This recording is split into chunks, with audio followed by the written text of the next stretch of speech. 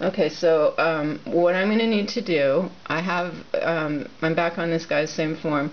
I'm going to have the room for paragraph 1 is the first ground for demurrer, and paragraph 2 is the second ground for demurrer.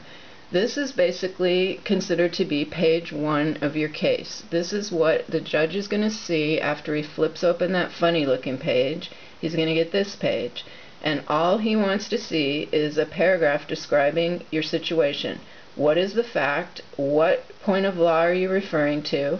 And what is your conclusion, or um, however it is that there's a problem? And that needs to be done properly. So I'm going to be spending some time to figure out how to phrase that. And so I'll do my first and my second ground, which I happen to have two just like him.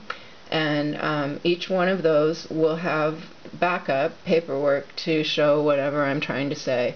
And um, one of the things that I've found out in researching this matter is um, I've been reading warnings on some of these other sites telling, and these are sites written for attorneys, it seems like, and it's saying, don't send out boilerplates, make sure you read your stuff. So I think what's happening is like legal assistants are sending out like 20 of these to the same judge at the same day, and so the guy gets this whole stack of the same thing over and over again, and obviously nobody read it, and he doesn't want to read it, but he has to, or whatever.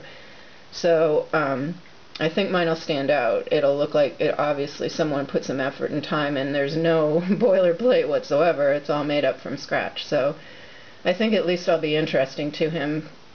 And I know my points are valid. I hope, I really hope I just don't have to do this because it's going to cost them money and they're wrong. So anyway.